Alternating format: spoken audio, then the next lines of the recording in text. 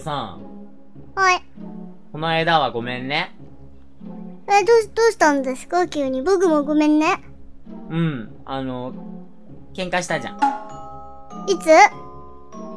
えー、お金チーム対愛チームに分かれて。ああ、はいはい、あの時ですね。やばい、なんか、イカロールしてやがる。ほら、ほら。そこが。ほら。そこが。ゴミ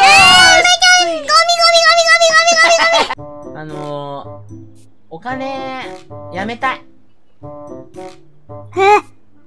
うしたんですか？考え直した。はい。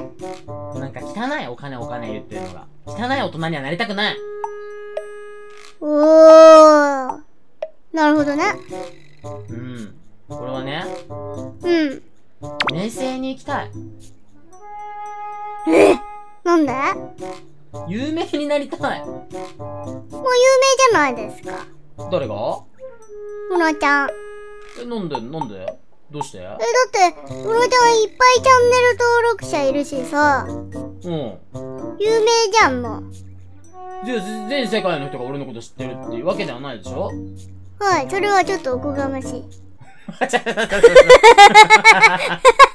おこがましいけど。いや、ゆもっと、もっともっと有名になりたいってことや。俺は今から面接チームに。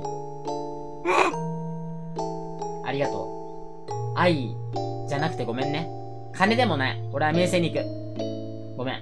うわ、この人愛も金も裏切りやがったんですから。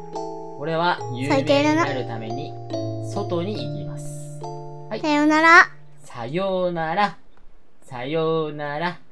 みんな、頑張れ。さようなら。いや、待てよ。ここで俺が裏切るのはどうなんだろうな。お金チームなんだ金金金金言っといて。愛チーム、ちょっと煽っといて。自分が名声に行くのって、これは、筋が通ってないと思うんだよな。ひれおさんどこ行っちゃったの？ひれおさん。はいごめん、やっぱお金に戻るわ。は？お金、お金。やっぱこの世はお金。お金です。なんかもう行ったり来たりでめんどくさ、この人。いや、いいだろ。あの、離れてて気づいたお金が大事っていうことに。違うでしょ。チーム変えらんなかったんでしょ、どうせ。いや。ねえ、ねえ、ねえやめて。ねえ、くっつき虫じゃん、それ。待って、だって、だって愛だから。愛だからって、うんバイバイわ